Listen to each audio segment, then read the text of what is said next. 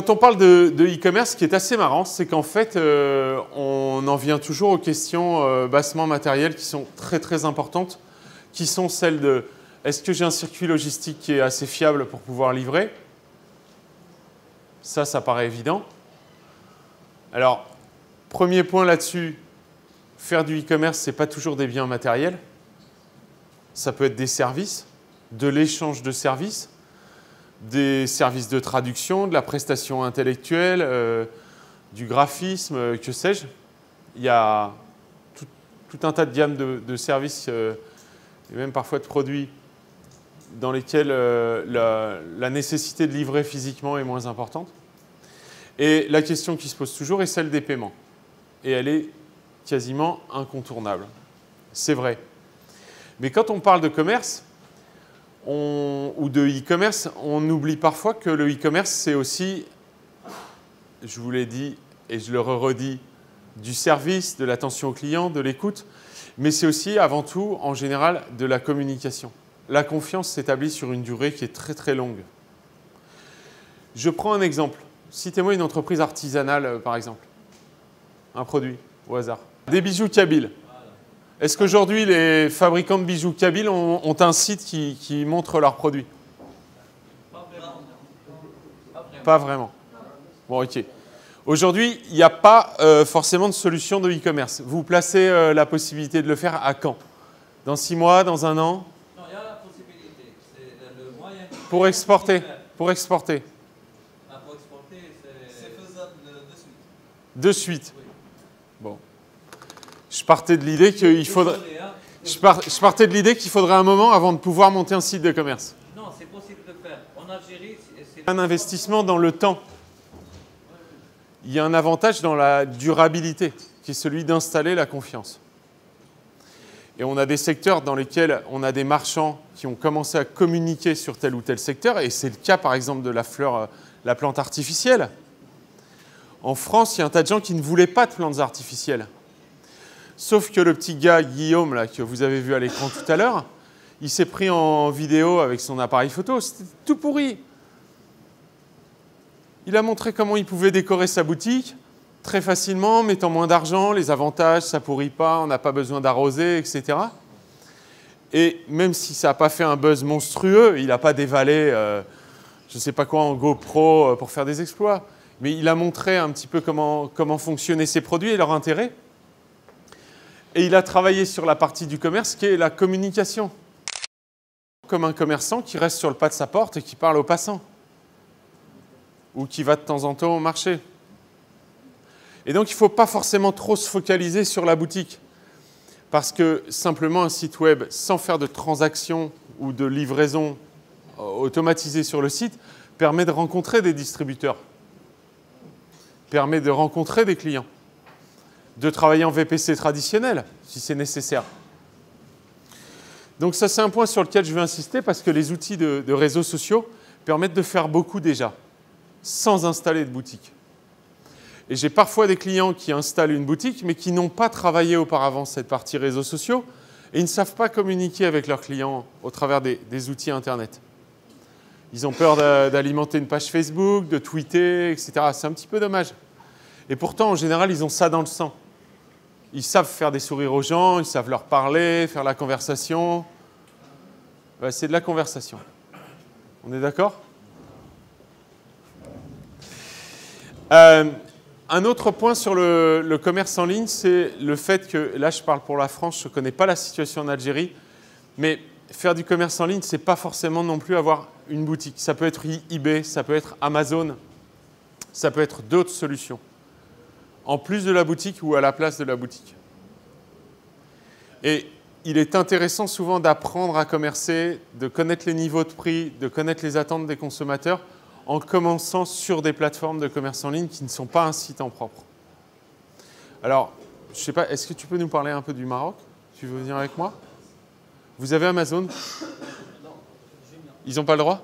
Non, non, c'est pas qu'ils n'ont pas le droit, ils ne voient pas l'intérêt de venir au Maroc Les méchants. Donc ce que, ce que, ce que nous dit Diar, c'est que Amazon n'est pas encore intéressé pour venir au Maroc. C'est ça? C'est vache. Vous avez de la chance dans ce cas-là. Voyons l'avantage. La concurrence d'Amazon, pour ceux qui n'arrivent pas à utiliser Amazon, en, en France aujourd'hui, elle est impitoyable.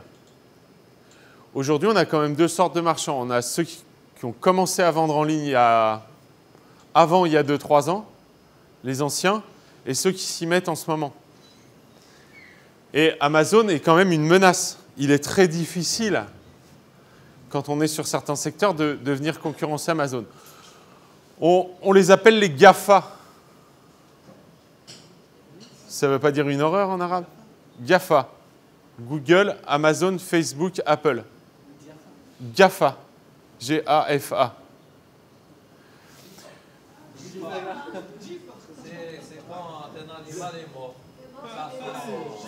Super, c'est la chance pour eux. Alors, les, GAFA sont la menace pour les petits. Pour de vrai. C'est-à-dire que dès que c'est possible, l'intérêt, c'est de s'y mettre. C'est de, de prendre de l'expérience et de s'installer sur un secteur. Alors, chacun, chacun a sa, sa spécialité. Pardon. Amazon vaut- vend tout ce qu'il peut. Ils ont un catalogue qui est extrêmement large. En plus de vendre leurs propres produits, ils peuvent revendre les produits des marchands. C'est-à-dire que si je vends des, je sais pas moi, des, des bouteilles d'eau, c'est pas un bon exemple, des micros. Amazon a une gamme de micros, mais moi, si je suis concurrent d'Amazon, je peux confier mon stock à Amazon qui va aussi vendre euh, aux gens de son site, aux, visiteurs de son site.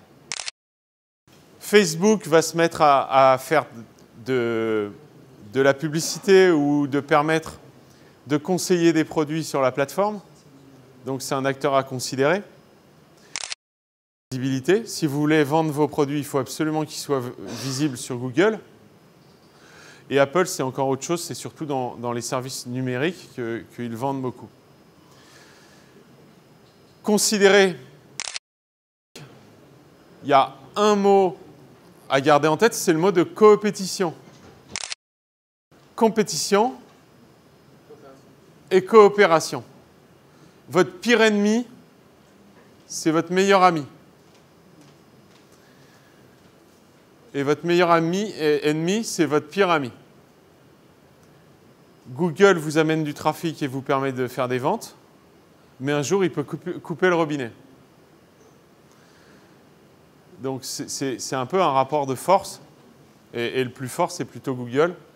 Donc, il faut savoir maîtriser euh, la façon dont tu arrives le trafic et ne pas dépendre su- surtout uniquement d'un de ces géants. Donc la question de l'autonomie euh, est extrêmement importante. C'est pour ça que je vais être très attentif euh, dans les jours qui viennent pour discuter avec vous sur ce qui concerne la formation, l'éducation, euh, l'apprentissage euh, sur ce qui est le numérique et, et le, le commerce en ligne. C'est beau ça. Est-ce que vous avez des questions sur le e-commerce? Est-ce qu'on peut parler un peu de l'expérience au Maroc? Tu veux venir avec moi? Alors pour le e-commerce, s'il vous plaît, je disais ce matin, c'est très important et je vais faire très rapide. Il y a quelques petits points très simples avec lesquels on peut démarrer, avec lesquels on peut démarrer et on peut avoir un e-commerce. Euh, pour ceux qui n'étaient pas là ce matin, je vais vous dire, pour ceux qui étaient là, je suis désolé, je me répète, il suffisait au Maroc d'ouvrir les euh, transactions Maroc-Maroc. C'est-à-dire on avait peur, euh, parce qu'on avait des problèmes de devises au Maroc, comme je parlais ce matin des stocks de devises, on ne voulait pas d'avoir des sorties de devises. Donc on avait peur de libérer le e-commerce. Mais par contre, à un moment, on s'est dit, bon, ce qu'on va demander, c'est des choses simples, des paiements de cartes bancaires marocaines sur des sites marocains qui appartiennent à des sociétés marocaines. Et donc la transaction, c'est en devise, et on dit en marocain, et sur, sur le sol marocain. Et quand euh, le législateur a dit qu'effectivement, euh, il y avait un intérêt pour le e-commerce, euh, je n'ai pas les chiffres en tête, mais aujourd'hui, on est à peu près un peu plus de 1 million de transactions par an c'est pas énorme, mais bon, euh, en chiffres, euh, on doit être aux alentours de, je pense, euh, 70 millions de- d'euros, 700 millions tiens, mais je ne peux pas dire de bêtises, euh, vérifiez les chiffres s'il vous plaît sur Internet. Euh, ce que je veux dire, c'est qu'à partir de ce moment-là, le législateur a vu qu'il y a un intérêt. d'avoir 1000 euros sur leur carte bancaire et de pouvoir acheter sur Internet. C'est un peu l'historique comment ça a démarré. Bien sûr, avant les gens ils ne payaient pas en ligne. On pouvait commander en ligne, commander en ligne, payer hors ligne à travers des, euh, des choses classiques comme le virement, le versement, le mandat postal. Est-ce que des, des petites entreprises s'y sont mises ou plutôt des, des gros distributeurs? Alors, on a eu le- les deux cas, mais ce qui est magnifique, c'est que, comme partout dans le monde, quand on a un premier arrivant, celui qui arrive vraiment en premier, c'est celui qu'on garde en top of mind, celui qu'on garde toujours en tête, et c'est celui qu'après, on va utiliser le jour où on va commencer à acheter du matin au soir sur Internet. Et donc, on a eu cette expérience. On a eu les grands qui sont là, avec notamment euh, les grands distributeurs qu'on avait, euh, qu'on on dit en anglais le click and mortar, donc la brique et le click. Donc ceux qui étaient présents déjà avec des magasins se mettaient en ligne, mais on avait aussi les petits. Et les deux, c'était. Ok, merci.